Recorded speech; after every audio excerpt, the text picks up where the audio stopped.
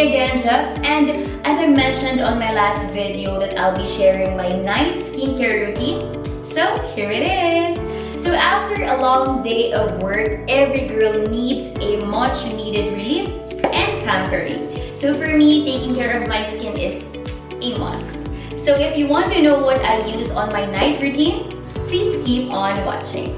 Let me share to you my evening routine. So every night I use Lueur Lauren skincare products and the first one is of course the cleansing foam to wash away today's excess oil and makeup.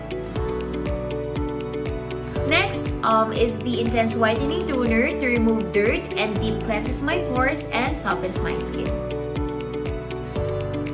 So the last product is this one, the Collagen Essence White and Wrinkle Sheet Mask and it's filled with vitamins and minerals that nourishes and rejuvenates my skin. So it's safe to leave it overnight.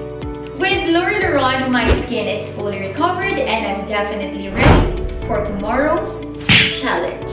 Want to know more about my beauty secrets? Please don't forget to like, share, comment yes for more details. Bye!